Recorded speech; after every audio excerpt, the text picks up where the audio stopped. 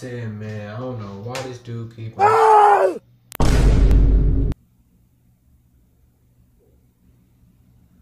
Hi, my name is Trey. I have a basketball game tomorrow. Well, I'm a point guard. I got shoe game and. everything.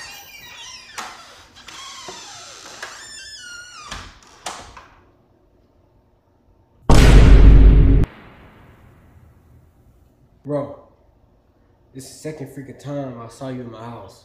What do you want? Hi, my name is Trey. I have a basketball game tomorrow. Well, I'm a point guard. I got shoe game. You got five seconds to get up for. That's what I thought. Man, I can't do nothing.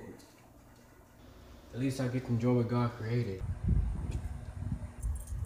Hi, my name is Trey. I have a basketball.